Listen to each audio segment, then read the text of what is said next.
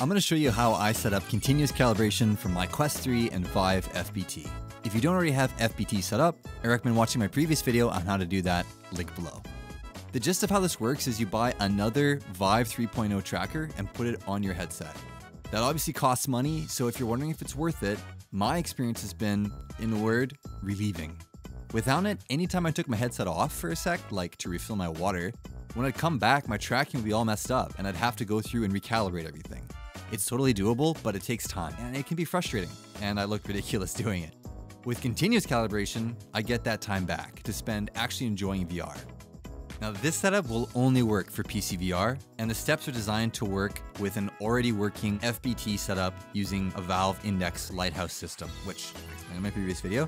Though I put a link in the description for a 3D printed design that'll also work with the Quest 2 as well. Enough preamble, here's the actual steps I took. So first I bought the other Vive 3.0 tracker, next I got a 3D printed mount for it, now, I don't own a 3D printer, so to get the mount printed, I paid a company here in Canada to make the part. They used filament that's environmentally friendly, and they even sent two of the parts in case one of them had a defect. And this mount leaves room to fit both the stock Quest 3 with its horrible straps that are like brain juicers squeezing your skull, and it still fit when I upgraded to the Bobo VR strap. The only real downside is that for a piece of plastic, it was pretty pricey at 40 USD. About half of that was for the shipping. Now, you could use double-sided adhesive, for me, I was worried that it might come flying off, so I just tanked the price point. I also bought a screw and nut from Home Depot for a few cents to hold it in place. Next, I opened up SteamVR and paired this new tracker up.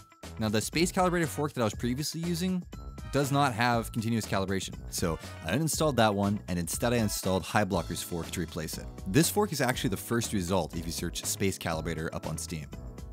I then got into Virtual Desktop and then in my headset's virtual desktop, I launched SteamVR. I then turned off all trackers except the one mounted on the headset. That's the only one I left on. That way I know for sure that the tracker I selected is actually the one that's on the headset. So yeah, I selected my headset and the tracker, and finally I clicked on the glorious continuous calibration button.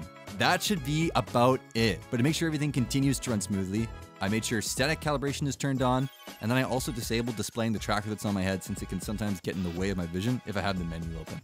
And that's it. Now, whenever you come back from grabbing a glass of water or whatever, you'll see your tracking fix itself auto magically.